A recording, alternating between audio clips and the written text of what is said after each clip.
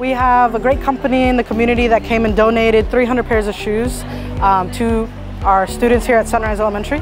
And that's really excited, uh, exciting for us um, and for the students. I can already see like students really excited to get a new pair of shoes right before the first day of school. We have 1,400 kids on this campus. So today's orientation, there's probably been about 150 kids already come through and we still have more coming. And especially in the community here in Marion Oaks where there's a lot of need for supplies.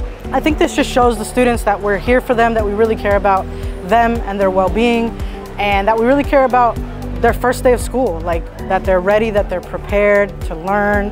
Um, and it just shows the parents as well that Marion County Public Schools is here for them.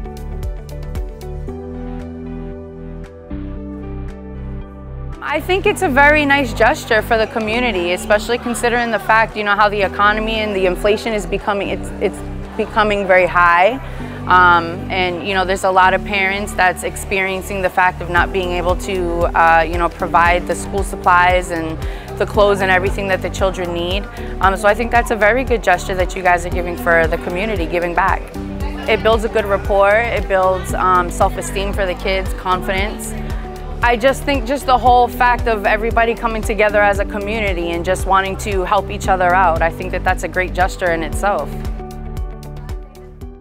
From all of us here at Marion County Public Schools, we would like to give a big thank you to the Southwest Florida Water Management District for donating over 300 new pairs of sneakers to our students at Sunrise Elementary.